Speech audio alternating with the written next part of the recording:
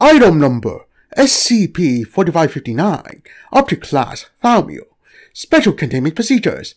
All information regarding SCP-4559 within scientific institutions and other organizations are to be removed under the guise of being incorrect information.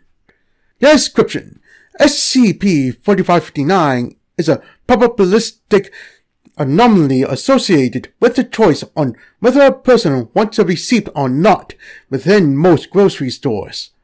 In the case where there are either rules that state that the customer always receives the receipt, or in the event that the customer is given the receipt without the prior approval, SCP-4559 will not trigger.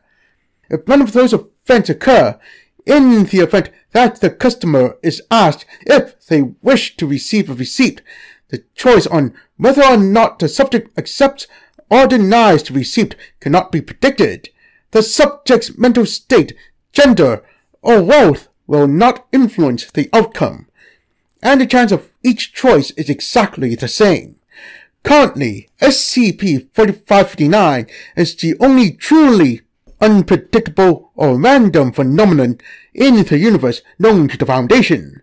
For example, quantum mechanics, weather, ocean currents, and the algorithms for standard random number generators can be meaningfully predicted, but SCP-4559 cannot be predicted in any meaningful way.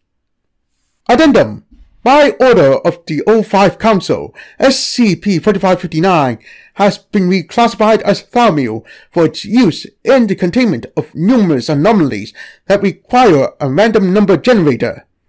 The Handsworth Alice number generator uses security camera footage from nearly 20,000 grocery stores within the US, which analyzes footage from the checkout aisles and uses the information generated from SCP-4559 to create a random integer.